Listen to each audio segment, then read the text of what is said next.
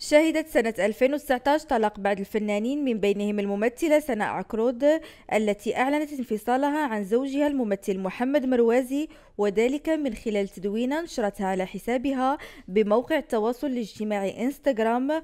وأكدت عكرود أنها اختارت باتفاق مع زوجها مروازي إنهاء زواجهما الذي دام عشر سنوات مؤكدة بالاحتفاظ بالصداقة القوية التي تجمعهما.